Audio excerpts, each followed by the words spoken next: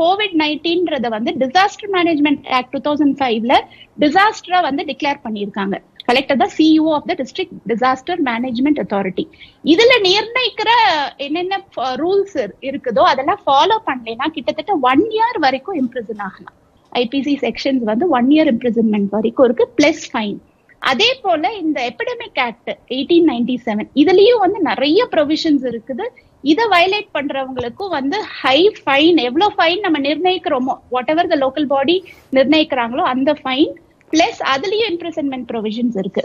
அது போக public health act public health act is the strongest act ever nineteen thirty nine public health act படி prohibition of exposure of the other person to infection so உங்களுக்கு தெரிஞ்சே வந்து இன்னொரு பர்சனை நீங்க இன்ஃபெக்ட் பண்ணீங்க. Maybe you don't know you're Covid positive but நீங்க வந்து உங்களுக்கு தெரியுது ஃபங்க்ஷன் நடத்தக்கூடாது இத்தனை பேரை கூட்டக்கூடாதுன்றது தெரிஞ்சுமே நீங்க மற்றவர்கள எக்ஸ்போஸ் பண்றீங்க அப்படின்ற ஆக்ட் அந்த ப்ரொவிஷன் படி section seventy one of the public health act nineteen thirty nine படி சிக்ஸ் மந்த்ஸ் இம்ப்ரிசன்மெண்ட் ஸோ இதெல்லாம் கம்பைன் பண்ணி போட்டோம்னா கண்டிப்பா டூ இயர்ஸ் வரைக்கும் வெளியிலேயே வர முடியாது.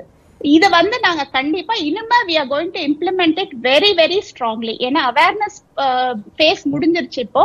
இனி என்போர்ஸ்மெண்ட் ஃபேஸ் என்போர்ஸ்மெண்ட் ஃபேஸ்ல we are going to deal with this very very strongly ஏன்னா த என்டையர் ஹெல்த்தோட கம்யூனிட்டியோட ஹெல்த்தையே வந்து அவங்க என்டேஞ்சர் பண்றதுனால.